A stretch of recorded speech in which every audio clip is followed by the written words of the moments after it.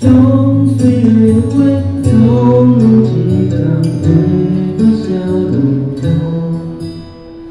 dù ai